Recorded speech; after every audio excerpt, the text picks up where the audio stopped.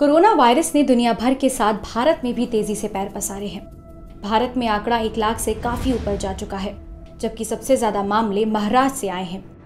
तो वहीं महाराष्ट्र में कोरोना संक्रमण बढ़ने के साथ ही राजनीति भी शुरू हो गई है। उद्धव ठाकरे सरकार पर कोरोना को नियंत्रण करने में असफल रहने का आरोप लगाते हुए भाजपा ने शुक्रवार को महाराष्ट्र बचाओ आंदोलन की शुरुआत की, जिसमें राज्य के पूर्व मुख्यमंत्री देवेंद्र फडणवीस और पार्टी के अन्य नेताओं ने राज्य भाजपा कार्यालय के बाहर प्रदर्शन किया। इस दौरान कार्यकर्ताओं ने सरकार के खिलाफ जंग कर नारेबाजी भी की है और सरकार से राज्य में टेस्टिंग बढ़ाने की मांग की।